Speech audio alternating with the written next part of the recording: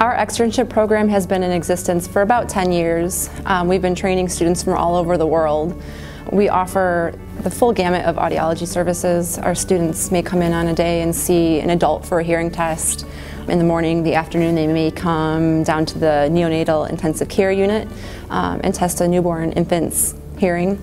You know, the next day they might come in and be able to do balance testing and electrophysiologic testing. So our students are really exposed to the full gamut of audiology services.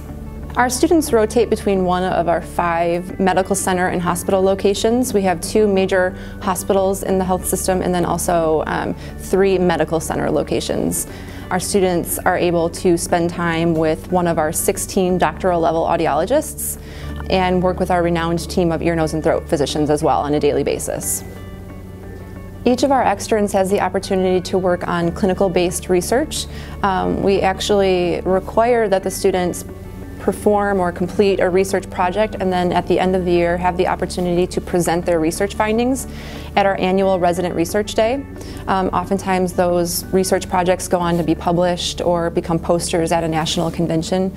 So research is a huge part of what we do here Really, our externship is one of a kind. There are very few externships that you can go on where you do see a little bit of everything. Um, our externs, we are confident when they leave here, could work in any location. They could work in industry, they could work in a private practice, they could work in another health system, and they will be successful at that and competent.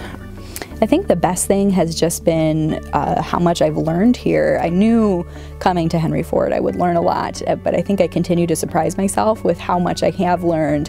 Um, you know, the holes in, in what my education had have certainly been filled in, uh, just more clinical experience. And I think, you know, in your first few years of your graduate school, you're not in clinic every day, and here you are all the time, hands on with patients, and it really reinforces everything I've learned in the classroom.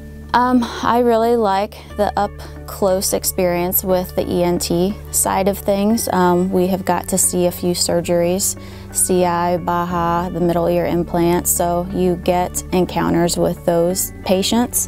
And it's been, uh, you know, it really adds to the experience here. You're not just seeing one particular type, you know, you're not just doing diagnostics all the time. Um, you're seeing those different things that kind of shape you into who you want to be. Um, it gets your interest going in other areas, so that has definitely been um, my favorite part. If you're interested in our externship program, please feel free to contact me or take a look at our website. We really look forward to hearing from you.